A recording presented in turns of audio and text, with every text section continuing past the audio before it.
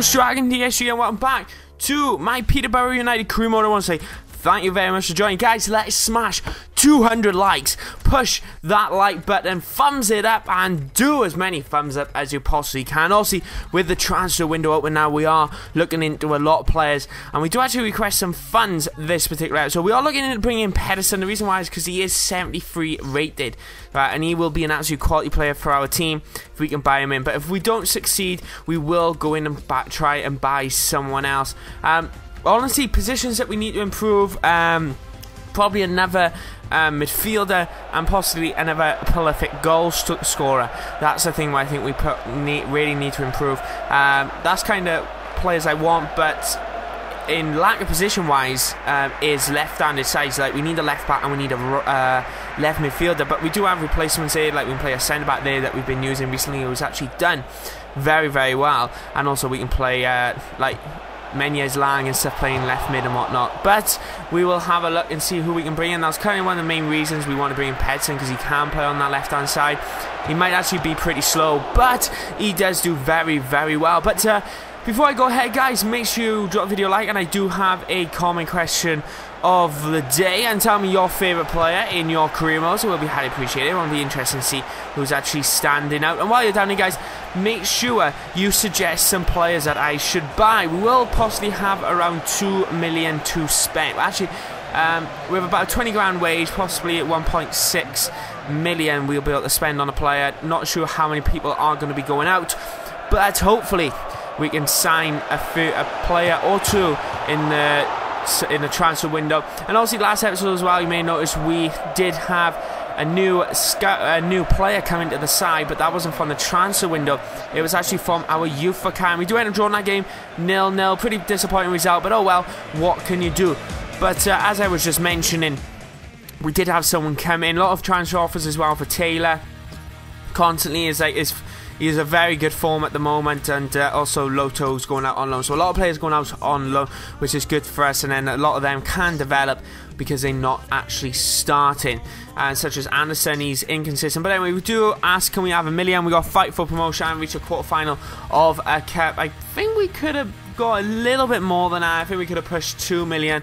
Um, should have really considered it. But if we do get promoted, I probably will request some more funds. Um, but uh, the offer for Pedersen was unacceptable, so hopefully we can uh, kind of lure them around a little bit and say, I want this player, can we have this player, and just see what we can happen. And also, uh, um, is looking to join our side. We're looking into sign him. A lot of you guys actually suggested him to our team, and we did try to sign him in the summer, but unfortunately couldn't actually sign him whatsoever which is a massive downside. But hey, oh well, what you gonna do? Um, but yeah, make sure you suggest some players in the comments below. I want to bring in Solazano, um, but I'm not too sure if that deal will actually go ahead just yet. I don't think we really need a striker that badly, but Solazano was insane. I think we could do a scout report on him and have a quick look into him next episode, to be fair.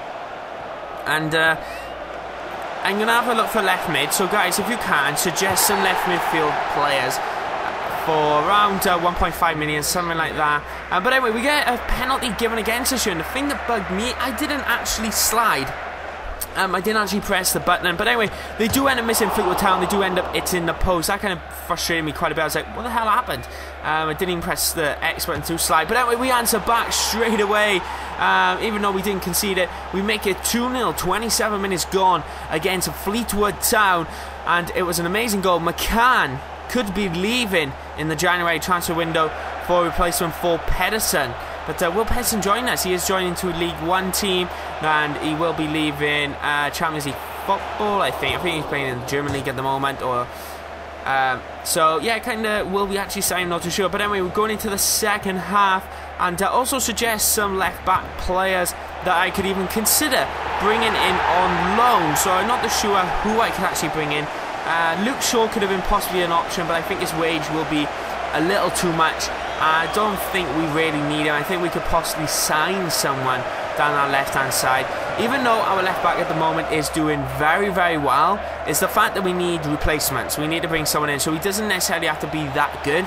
He just needs to be a left back player and a left midfield player. But what a goal by Griffiths!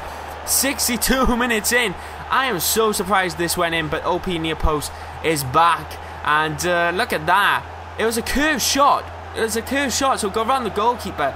And uh, they say goalkeepers have improved, but the good thing with goalkeepers, they know exactly overpowered all the time. Sometimes they are, and then sometimes they're not. But anyway, Griffiths on the ball now. Lovely ball by McCann. They've been linking up very, very well. He's going to go for the shot. 83 minutes in. And it's just wide of the post. What can he do there? Pretty disappointing. And we should have scored. And we do end up winning that game 3-1. A massive, massive result in the league. So I'll quick look at the league table in just a moment.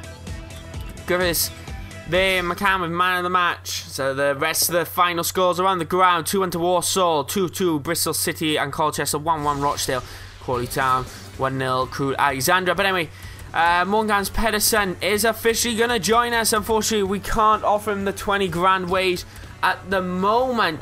So we do offer him a little less to see if he actually will accept that offer. Um, but anyway, here is the league. We are now top of the table again. Two points clear with six losses under our belt. So we are in a very, very good season. So a long way to go. Just, yeah, because we only play 20 odd games. Um, but anyway, will we end up getting promoted? A lot of you guys did think we was going to get win the league.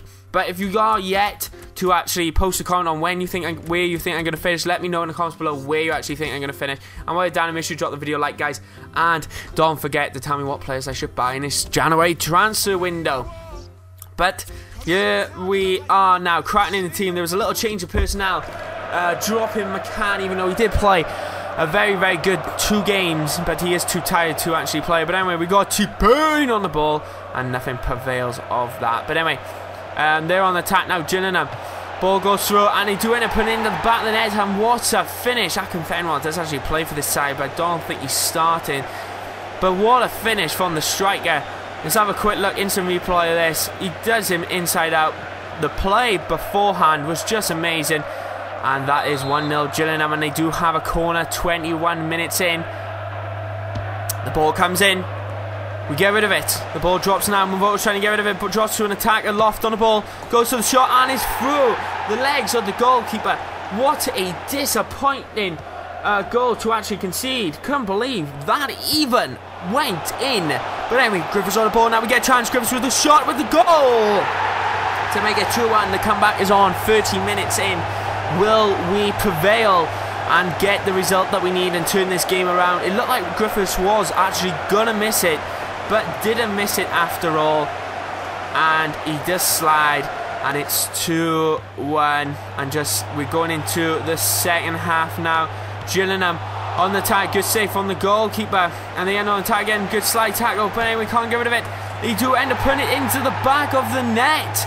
A fumble, a shambles of a defence there from uh, Peterborough United. What the hell was going on there? But anyway, Griffiths on the attack now. He's touching on his left hand side. Goes for the shot. And it goes wide of the post. That seems what it seems to be at the moment. A little helping hand there. It's just see he's going to need a helping hand to win this game. Uh, but we get another chance now. Payne on the ball. Anderson to Griffiths. Griffiths with the shot. Good save. And it's just off the post. Could have been out and wham to us in the other game. But it doesn't. And they do end up prevailing. And they do end up winning that game. 3-1 and it was just a disappointing result and that was actually a cup game so we've been knocked out of the cup and I think we are knocked out of all tournaments now? Or not 100% I think we are actually knocked out of all tournaments other than the league. But anyway guys thanks for watching. My name is Welsh and Yeshi, and I'll see you next time. Goodbye